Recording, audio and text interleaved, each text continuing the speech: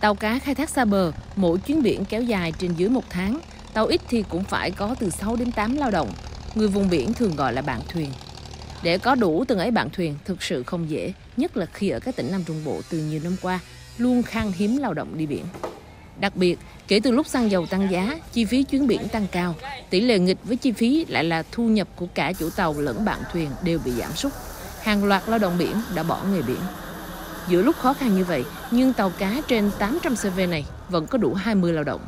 Chủ tàu với bạn thuyền đã gắn kết với nhau từ lâu nay.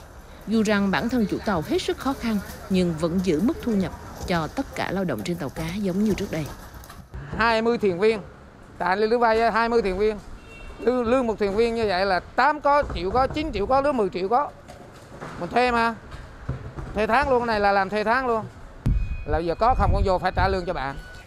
Tỉnh Khánh Hòa có hơn 700 tàu khai thác xa bờ.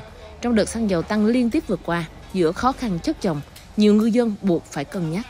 Có ngư dân chấp nhận neo bờ tàu cá, nhưng cũng có ngư dân cố xoay sở để bám biển. Trước hết là để duy trì công ăn việc làm cho lao động trên tàu cá, và đây cũng là cách để giữ chân lao động.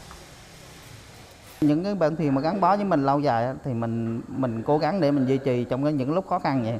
Mình ráng cố gắng duy trì để cho người ta đi với mình tiền túi họ ra hoặc không có nhiều chủ tàu thì họ vẫn đi mượn ngoài nhiều lúc bán cá chưa lấy được tiền thì họ ờ, mượn tiền ngoài lo cuộc sống cho gia đình của thuyền viên nữa Như là giữ chân lại vươn khơi bám biển Sau giao thông vận tải thì khai thác thủy sản là lĩnh vực chịu tác động nặng nề nhất từ giá xăng dầu.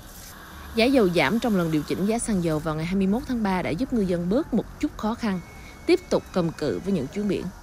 Bởi vậy lúc này, ngư dân mong chờ giá dầu tiếp tục hạ nhiệt để có thể giảm chi phí chuyến biển.